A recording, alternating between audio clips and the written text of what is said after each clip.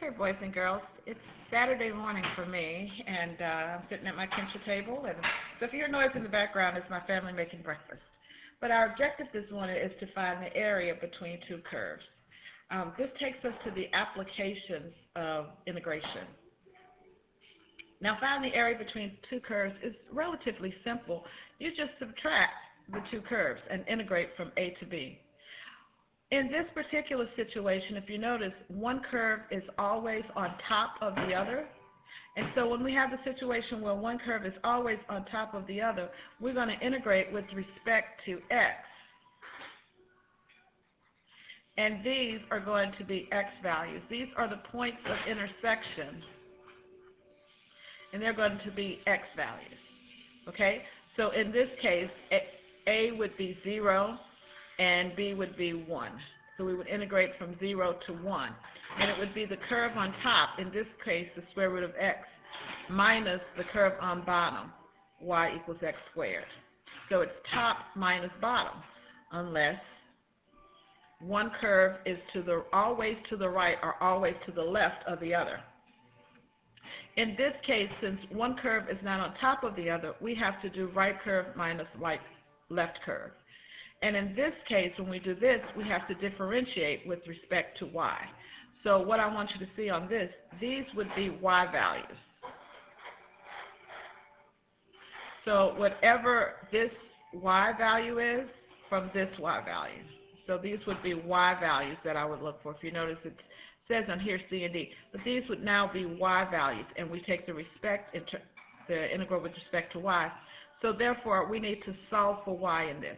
So instead of having y equals, we'll have x is equal to as we write our equation. Okay? So if one is to the right, always to the right, always to the left of the other, we have to do right curve minus left curve. If, one is always on top and bottom, we do um, top minus bottom. Let's do a simple example. This first one is to find the area under the curve of x squared minus 1. Now, you need to be able to graph simple functions such as x squared minus 1. We know it's quadratic. We know that it has a vertex at negative 1. We know that it opens upward, so it looks sort of like this.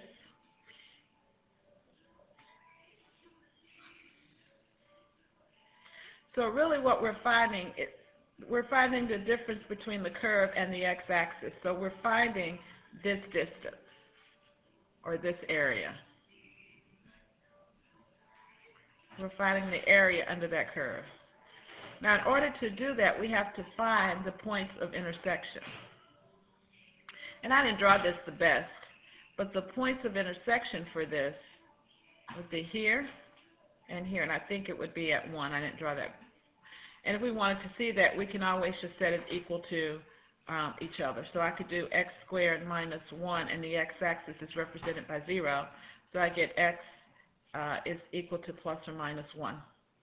So those would be my limits of integration. So I'm simply going to integrate from negative 1 to 1, and it's going to be x squared.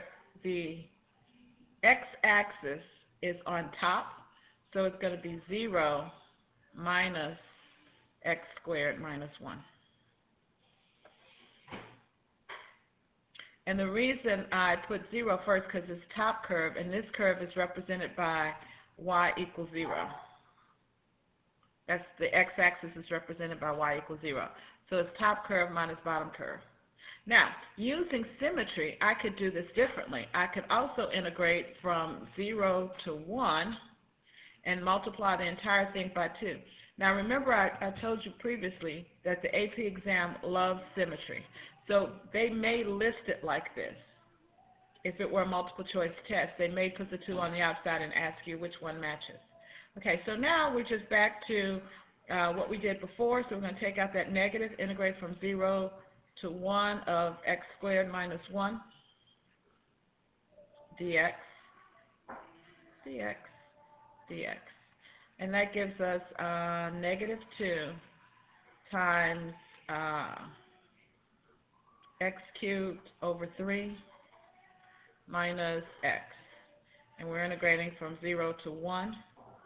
So that gives me one third minus 1. Notice by going from 0 to 1, that made my life a little easier because now I don't have to evaluate negative 1. Because at 0, this whole thing is 0. So 1 third minus negative 1 is negative 2 thirds. So I have negative 2 times negative 2 thirds, which is 4 thirds. And that's my answer. Okay? Let's do another example. Now, going forth, I have used a program called Desmos, uh, desmos.com if you want to go there, to graph these. But like for a problem like this, you would need to graph it yourself. You need to know what this looks like. I was just being lazy.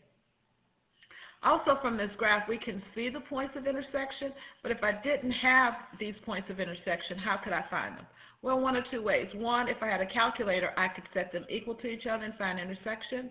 Or I could just do it the old-fashioned way and set them equal to each other. So that gives me x squared plus x minus 2 equals 0. So that's x plus 2, x minus 1. So x is equal to negative 2, and x is equal to 1. So we can see that from the graph, that this point of intersection is negative 2, 1, 2, 3. Although we don't need the y value for this one. In some problems we do. And here x is 1 and 0. Okay? So, which curve is on this y equals negative x plus 1 is always on top of the parabola. So because this is always on top, I'm going to use top minus bottom. My limits of integration, I'm going to integrate x values from negative 2 to 1. And uh, the linear function is on top, so that's going to be negative x plus 1 minus x squared minus 1. Uh, we can combine like terms. We get the integral from negative 2 to 1 is negative x squared minus x plus 2. And then from there, we can integrate. Now, you can integrate on your calculator. So a lot of this, I'm just going to set it up. That's the important part. And then you can just integrate on your calculator. But I'll do this one for you. We get negative 1 third x cubed minus x squared over 2 plus 2x. And then we're integrating that from negative 2 to 1. Now you can always already see that with the fractions and everything, this is going to become tedious. So I'm going to let you finish that on your own. Let's do one more problem and in your notes.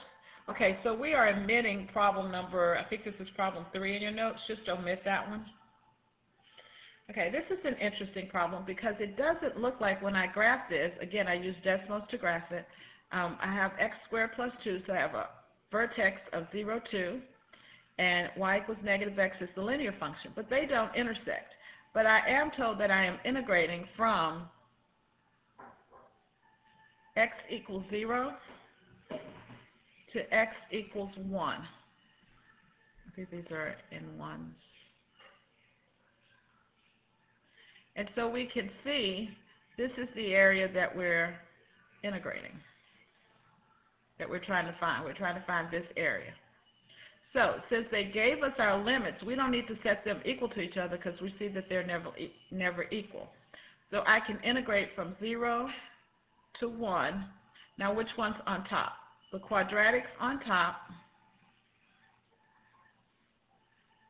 and negative x is on the bottom. So that gives us the integral from 0 to 1 of x squared plus x plus 2. So again, integrating that, I get 1 third x cubed plus x squared over 2 plus 2x. And I'm integrating from 0 to 1. I'll try that one since I'm integrating to 0. I'll have to subtract them. And that's going to be 1 third plus 1 half plus 2. And you know you can leave your answer like that unless you have a calculator and you just figure out what it is on the calculator. All right, those are examples 1, 2, and 3. Please watch the next video which will include the next example.